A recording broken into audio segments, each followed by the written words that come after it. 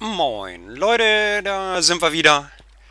Ja, zwei Sachen habe ich für diese Folge. Einmal, ich war im Kino mit guten Freunden und äh, wir haben uns ein Märchen angeguckt. Und zwar haben wir uns angeguckt äh, Hänsel und Gretel Hexenjäger. War ein sehr schöner Film, also ich kann den weiterempfehlen. Äh, er wird nicht jedermanns Geschmack sein, da doch ganz schön viel Splatter-Effekte drin vorkommen. Also wer nicht so auf Blut steht, dem wird er nicht so zusagen.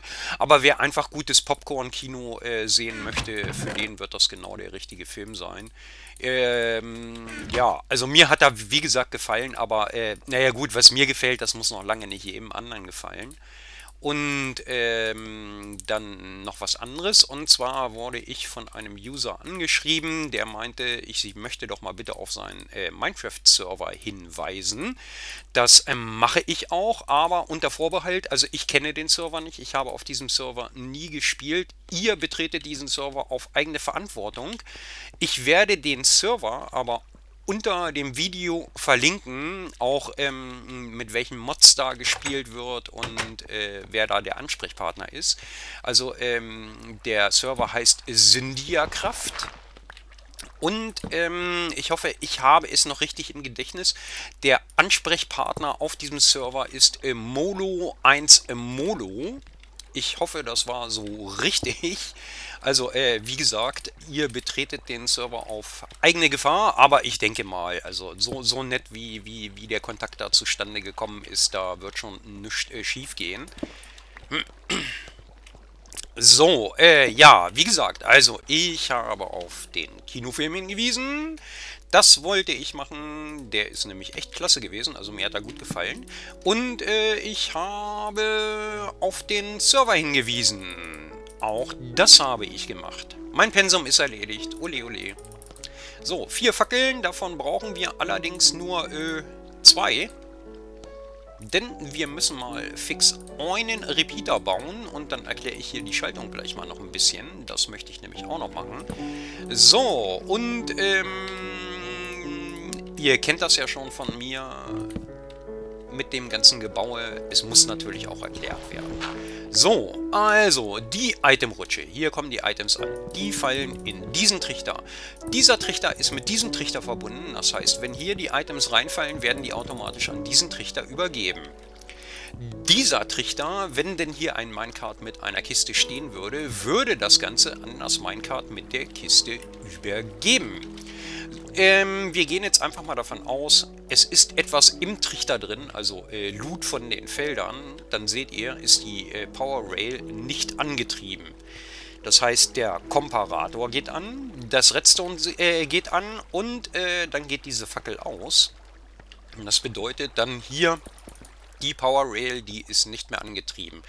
Wenn das Ganze dann, äh, wenn der dann ähm, leer ist, der Trichter, dann gibt der ein Signal ab und zwar an diese Fackel. Diese Fackel betreibt dann wiederum die Power Rail, schickt also unser Minecart, wenn denn nichts mehr in diesem Trichter drin ist, ähm, zurück, gibt aber gleichzeitig über diesen Pulsverkürzer noch ein äh, Impuls ab, wir haben ja oben irgendwann mal drauf gedrückt und das Wasser läuft. Und äh, als optisches Feature habe ich mir überlegt, äh, ja, ich lasse das Wasser ganz einfach so lange laufen, bis dann hier unten das Minecart das ganze Geraffel abgeholt hat. Und dann gibt es über diesen Pulsverkürzer einen Impuls zurück auf diese Leitung, was die Wasserfreilastleitung äh, ist oder darstellt. Habe ich das jetzt aufgesammelt, das Redstone? Ich hoffe doch. Wir haben da nämlich nicht mehr so viel von. Ähm, und äh, auf jeden Fall wird es hier eine Rückleitung gehen. Die können wir auch schon mal anfangen, ruhig zu bauen. Das tut keinem weh. So, da nehme ich mal raus. Denn äh, wir werden sowieso mit einem Repeater arbeiten müssen. Und äh, das ist auch falsch. Denn wir müssen hier auch eine Überführung bauen. So, ding, ding. Und dann hätten wir das auch bald geschafft. So, äh, und dann geht es zurück. Also wie gesagt, das Minecart fährt ab. Es gibt einen Puls und äh, hier, zack, das geht dann hier rein und äh, dann wird der Wasserfluss gestoppt. Das ist dann nochmal zusätzlich eine optische Meldung. Ah, der Erntevorgang, der ist abgeschlossen. Ähm, ja, wir können uns dem nächsten Feld zuwenden. Also mehr geht nicht. Also es wird zusätzlich natürlich auch noch äh, eine Lampe wird es noch geben. Also es gibt der Möglichkeiten viele. Ähm, es gibt aber immer noch eine Fehlerquelle und zwar die Lampe, die leuchtet dann immer noch, weil erst wenn die ausgeht, heißt das, der nächste Erntevorgang kann eingeleitet werden. Und hier unten ist immer noch ein Minecart drauf. Das heißt, das Minecart ist voll. Verdammt, was machen wir da? Ganz einfache Lösung. Wir setzen einfach einen Block daneben, nehmen einfach mal einen Schalter. So, und wir gehen jetzt mal davon aus, äh, es sind noch Sachen drin und das Minecart würde jetzt natürlich mit der Kiste nicht losfahren. Niemals. Auch nach Stunden, Tagen, Wochen nicht. Und äh, ja, wir kriegen den Trichter, entweder nehmen wir es raus und machen ihn leer oder wir drücken hier auf den Knopf und schicken das Minecart zurück und äh, schicken dann ein anderes runter. Dafür müssten wir dann aber wieder äh, hochlaufen. Das ist so der Notfallknopf sollte man vorher natürlich immer ein bisschen darauf achten, dass man dann vielleicht nicht gerade ein volles Minecart losschickt. Naja, wie auch immer. Auf jeden Fall ist das so meine Minimallösung für das Ganze, ohne dass wir da irgendwie äh, großartig noch weiter rumtüfteln müssen. Ja, äh, hier bauen wir uns dann natürlich unsere Minecart-Strecke noch so ein bisschen rein. Da müssen wir dann mal gucken, wie wir das Ganze umsetzen. Äh, ja, Verdammt, ich muss hier so viel überlegen, das gibt's aber halt gar nicht. Diese ist übrigens soweit fertig. Da können wir, glaube ich, schon neue Steine reinbasteln, oder? Ja, können wir. Und die können wir rausnehmen. So, Ding. Und äh, ja, dann können wir hier weitermachen. Und zwar raus, raus, raus. Raus, raus. Äh, das raus, das raus. Den raus. Da, da. Und dann bauen wir doch mal die nächste Schaltung. Ja, ihr merkt schon, das ist, das ist gar nicht so einfach. Einerseits wollte ich die Servervorstellung äh, nicht äh, vergessen, denn da bin ich ganz äh, lieb drum gebeten worden. Und wenn man mich äh, lieb um etwas bittet und nicht hier so, ey, ey, ey, mach mal bla und hast du nicht gesehen, sondern wirklich mal irgendwie, ne? Also es darf ruhig nett äh, sein. Dann bin ich dazu auch gerne bereit. Da habe ich dann gar kein Problem mit. Halt, das war jetzt einer zu viel. Äh, verdammt, wo ist das Minecart jetzt hingefahren? 1, 2, 3, 4, also hat es nur eine Runde gedreht. Aber wir müssen, ihr seht schon, wir haben jetzt hier mit diesem Hebelschalter eine Ringleitung gebaut. Die müssen wir erstmal unterbrechen. So, unsere vier Minecarts sind noch da, alle im grünen Bereich. Ähm, wir brauchen aber einen Repeater, noch einen Repeater und auch Faggelchen. Das ist das, was wir jetzt erstmal bauen werden. So, äh, dafür brauchen wir erstmal Stickies. Dann brauchen wir ähm, vier, fünf. Fünf Fackeln brauchen wir. Bing. Halt, wir brauchen noch eine. Sechs. Aber zwei davon packen wir wieder weg. So, ding, ding. Und äh, dann, wo sind die Steine? Da sind die Steine. Dann müssen wir nochmal zwei Repeater bauen. Ja, uns geht schon wieder das Redstone aus. Und diese Druckplatte, ach, die muss ich auch endlich mal loswerden. Ich weiß nur noch nicht wo.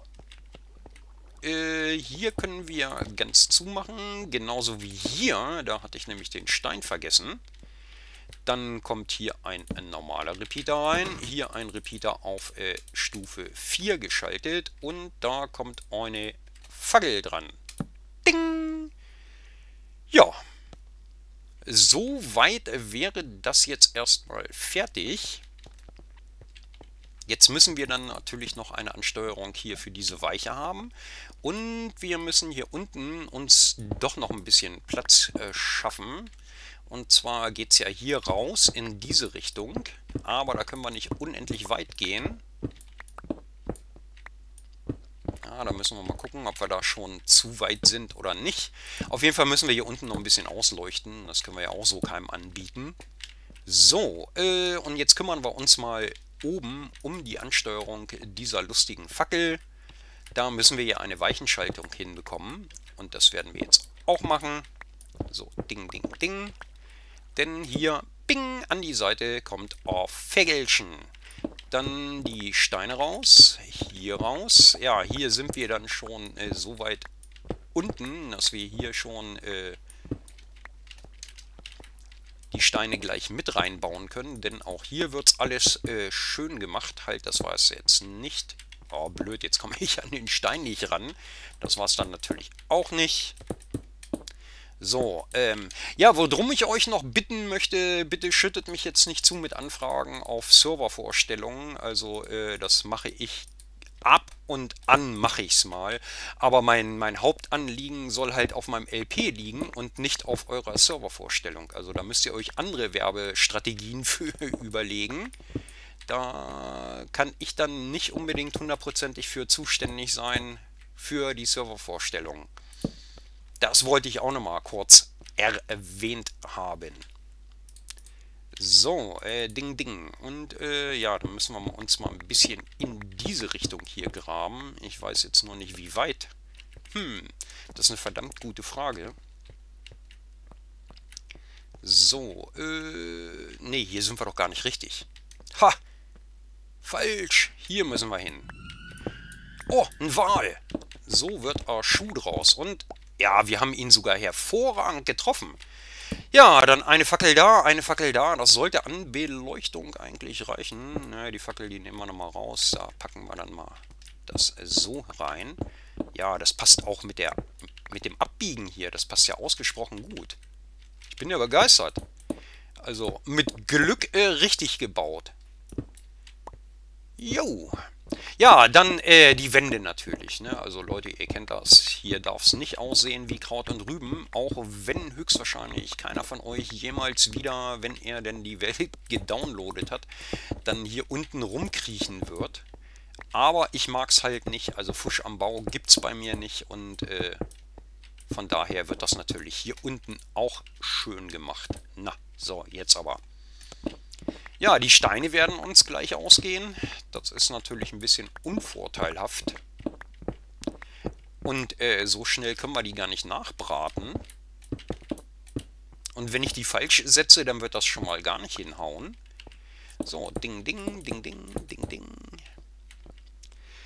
Ja, was gibt es sonst noch zu sagen? Ja, der Film, hervorragend, gefällt mir sehr gut. Der Hänsel und Gretel war ich echt erstaunt. Ich hatte erst gedacht, hm, naja, schauen wir mal, wie es so wird. Also allzu viel hatte ich mir nicht davon erwartet, aber ich war dann doch positiv überrascht. Also mir hat er, wie gesagt, sehr gut gefallen, aber das soll ja noch nicht heißen. Äh, was mir gefällt, das muss ja noch lange keinem anderen gefallen. So, aber meine Bitte an euch, geht einfach ins Kino und schaut ihn euch da an. Es macht keinen Sinn, sich sowas auf dem Fernseher anzugucken oder so. Also ich mag Kino, muss ich, muss ich ganz einfach mal so dazu sagen. Und äh, ich finde es äh, grauselig, sich das auf kleinen äh, Fernsehern anzugucken. Da geht, finde ich, das ganze Feeling irgendwie verloren. Also äh, wenn ich die Möglichkeit habe, ins Kino zu gehen, dann äh, wähle ich natürlich immer, also ziehe ich immer das Kino vor, denn das ist schon, das ist ein ganz anderes Kaliber, ob ich den auf einer großen Leinwand sehe oder ob ich den im heimischen äh, Kino dann sehe. So, haben wir jetzt aber genügend Werbung hier für die Kinoindustrie gemacht. Aber es ist ja auch verdient. Also es sind ja, kommen ja auch gute Filme raus. Von den Raubkopien halte ich übrigens exakt nada. Das ist, weiß ich nicht, also das ist überhaupt nicht mein Fall. Da würde ich lieber warten, bis das Ding dann irgendwann mal äh, käuflich zu erwerben ist. Aber ich habe da sowieso ein anderes Verhältnis zu. Das ist ganz einfach so, ich, ich, ich mag, also ich habe auch nur Originalspiele und nur Originalprogramme. Ich besitze keinerlei Raubkopien. Ich weiß nicht, ob das, ob das vielleicht an meiner Generation liegt oder so, aber dieses, dieses kostenlos und auf Kosten anderer, das ist mir irgendwie so ein bisschen, bisschen, ja, fremd, fern, weiß ich nicht. Das ist, ich, wenn ich mir was nicht leisten kann, dann habe ich das einfach nicht. Dann, dann, dann besorge ich mir das auch nicht auf Umwegen, illegal oder so, dann kann ich das halt einfach nicht nutzen. So einfach ist das. So einfach kann manchmal die Welt sein. Jedenfalls bei mir. Ich weiß nicht, wie das bei euch aussieht. Ich sage erstmal Tschüss, wir sehen uns wieder in der nächsten Folge. Macht's erstmal gut.